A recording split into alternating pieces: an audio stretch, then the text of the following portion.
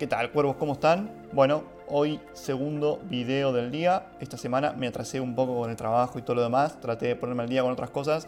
Y eh, bueno, hoy estoy cumpliendo y estoy trayendo dos videos. El primero fue el de la mañana, el de mi participación, que voy a dejar ahí con Mario Benigni de ayer a la noche, el que estuvimos hablando de toda la actualidad institucional de San Lorenzo, pero hoy también vamos a hablar de todo lo que es la actualidad institucional. Pero antes que nada, siempre agradeciéndoles por, lo que me están ayudando a crecer. Si ustedes ven el canal lo que es, estamos cada día creciendo más, cada vez somos muchísimos más. Quiero también eh, agradecerles de la siguiente manera. Quiero que me digan si quieren que hable de algún tema en particular y si veo que es algo masivo o si veo muchos comentarios sobre lo mismo. Eh, o veo que es un tema que es para explorarlo mucho, eh, lo voy a terminar trayendo. En particular, yo sé que ustedes saben que soy abogado y que hablo de esas cosas eh, y que muchas veces me hacen preguntas aisladas por, che, y el juicio de tal y el juicio de este. Bueno, si quieren que, si ustedes tienen alguna duda de algún tema que está rondando en San Lorenzo eh, y yo puedo traerlo al canal, bueno, me pueden dejar en la caja de comentarios eh, cuál sería el tema que quieren saber. El otro día vi que me estaban preguntando por el tema de el juicio de arquitectos. Bueno, yo puedo buscarlo y verlo. Esta semana eh, subí en Twitter, que ahí lo están viendo, San Lorencismo. Eh, estuve viendo los juicios de San Lorenzo, estuve viendo a ver qué, es lo que venía pasando. Vi que San Lorenzo, por suerte, eh, se está moviendo. En algunos casos se está, está, empezando a plantear defensas. Pero leí uno que me quise agarrar la cabeza porque el club que formó a, a Santiago Bergini nos está intimando por casi el 5% de todas las remuneraciones pactadas con el jugador que, eh, nada, Marcelo Tinelli le firmó mucho dinero. Así que bueno, si me quieren dejar algún tema en particular que ustedes quieran que hable, eh, son bienvenidos. Además de comentarme obviamente qué es lo que piensan, porque hoy tenemos mucho para hablar y en particular vamos a hablar de la gira de, de ¿no? Que quiero conocer también ustedes qué es lo que piensan en cuanto a esto. Porque Arrecegor está un poquito de gira por canales que siempre le preguntan lo que él quiere que le pregunten. Él está en Teis Sports, está eh, bueno, en algunos medios partidarios de San Lorenzo que no le preguntan como le tendrían que preguntar. No soy quien para decirles cómo hacer el trabajo cada uno, porque cada quien sabrá cómo hacerlo, pero me gustaría escuchar, eh, escuchar un poco más de crítica, ¿no? Un poco más de autocrítica, un poco más de por qué ciertas cosas, o un poco más a la repregunta, porque a veces quedan en, la nada las cosas. Vamos a empezar hablando de un poco de lo que él viene diciendo sobre el tema de la pandemia, porque Arrecibidor viene diciendo que el problema del fútbol argentino es la pandemia, y sin embargo, yo no veo que todos los equipos del fútbol argentino eh, estén casi eh, por quebrar como San Lorenzo. Yo no veo la cantidad de problemas por día que se generan en cada equipo eh, con San Lorenzo. No veo fracturas tajantes como las que veo entre Lamens, Arresegor y Tinelli y cada uno eh, en sus facciones. Esto parece. ¿Vieron Avengers cuando pelearon eh, en Civil War, cuando pelearon Tony Stark, cuando peleó contra Capitán América? Parece eso. Parece Iron Man contra Capitán América, muchachos.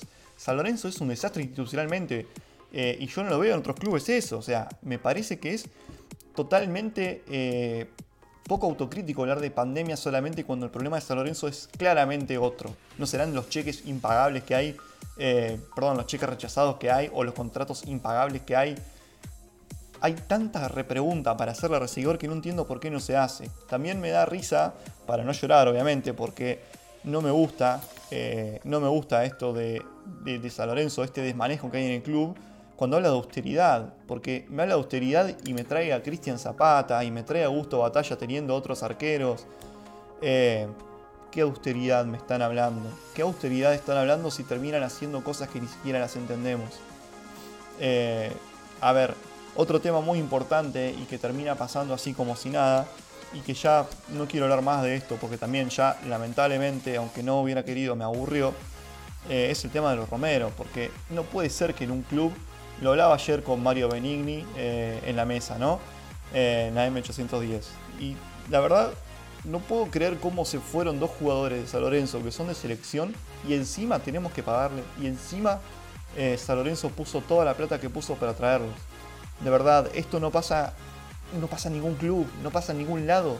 ¿Cómo puede ser que lo permitamos? Y no estoy hablando de salir y romper todo, siempre digo esto, pero ya está, es como que ya pasó y se normalizó.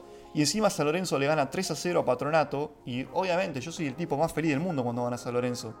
Pero tenés que escuchar que otros tipos te, tratan de. A, no a mí, digo a todos los que hablamos de, la realidad del club.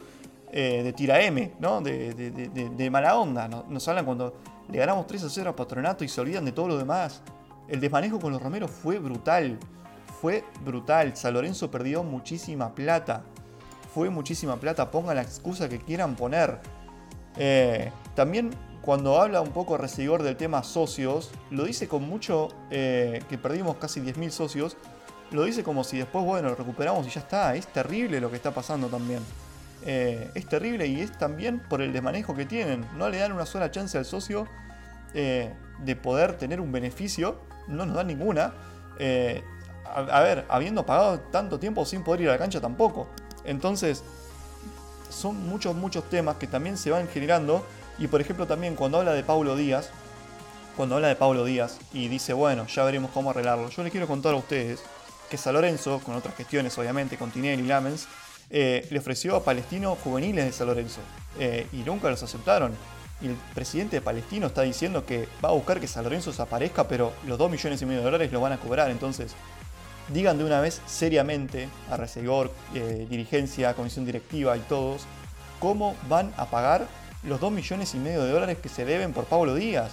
Porque encima te hablan de que van a traer al suplente de Belgrano cuando San no puede traer ni a Mbappé ni a Wilson Severino de Atlas, ¿se me entiende? Eh, parece una tomada de pelo, pero hay que decirlo, San no puede traer a nadie hasta que no pague la inhibición.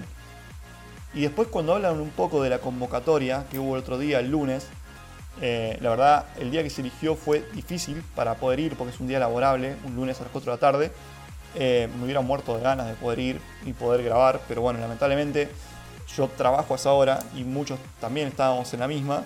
Eh, también un poco como que se reía. Y yo la verdad no me reiría tanto a Resegor porque pusieron policía, así que un poco asustados estaban. Y antes de que empiece esa supuesta marcha, hablaste en Radio de la Red, o no me acuerdo en qué radio grande hablaste, y dijiste que por favor la única marcha que haya sea para apoyar el plantel. Entonces, entonces, yo entiendo que vos hablás estatutariamente, entiendo que ayer o antes de ayer pararon la renuncia de Moretti porque ya se le fue uno, se les va a ir otro, son creo que 20 y si les renuncian mucho van a tener que llamar a elecciones y se va a cumplir lo que dicen los boludos de YouTube y los boludos de Twitter eh, porque San Lorenzo necesita elecciones desde el día que se fue Marcelo Tinelli, lo digo con todas las letras, que Marcelo Tinelli se fue. Entonces, eh, las renuncias no son broma para la comisión directiva.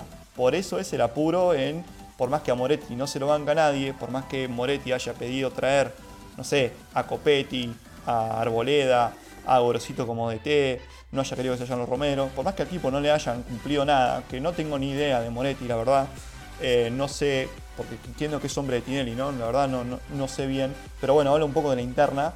En realidad el tema es que no renuncie más nadie porque me renuncian más y acá se llama elecciones y los boludos de Twitter tienen razón. A ver, a mí no me interesa tener la razón o no tener razón. Me interesa San Lorenzo.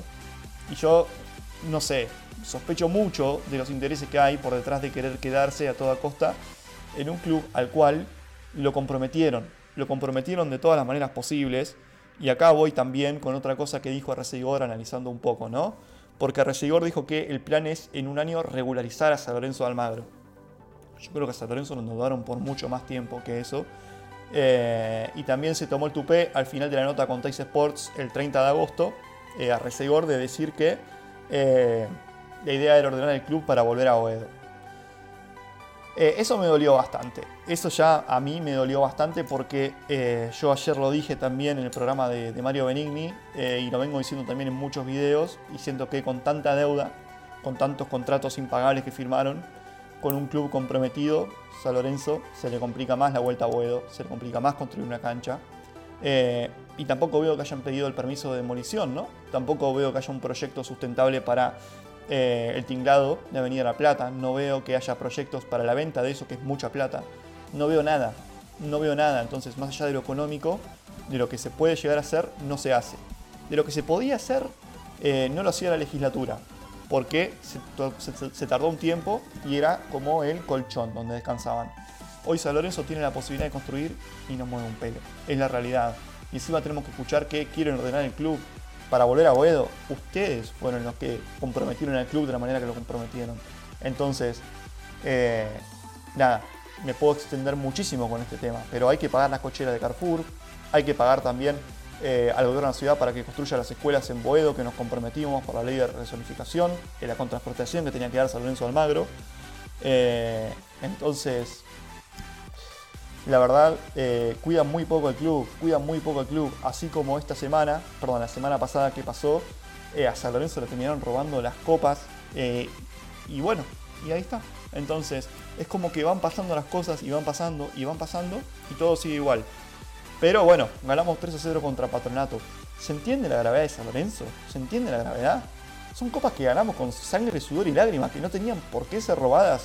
A ver, eh, yo justo ayer leía la nota de Boedo Vengo, eh, y nada, la verdad me pareció muy interesante que hablaba justamente de estas copas y estos trofeos, eh, y decía justamente, ¿por qué robaron las copas, no? Y, claro, porque decía, decía la nota de Boedo Vengo, porque las cajas del club ya están vacías. Entonces, me parece que más allá de que haya sido alguien de afuera quien cometió ese delito, quien delinquió y robó, ¿dónde está la seguridad del club? ¿Dónde está la seguridad del club?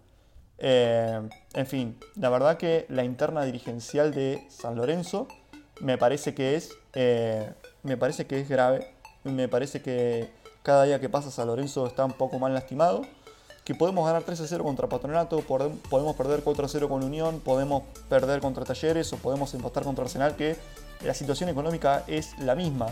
Eh, el compromiso del club, lo comprometido que está el club es el mismo. Yo siento que con su billetera no hubieran hecho lo mismo que hicieron con los hermanos Romero. Y no es porque estoy llorando a los hermanos Romero, estoy llorando la plata que perdió San Lorenzo. San Lorenzo perdió mucha plata. Alguno me va a decir, no podía ser de otra manera.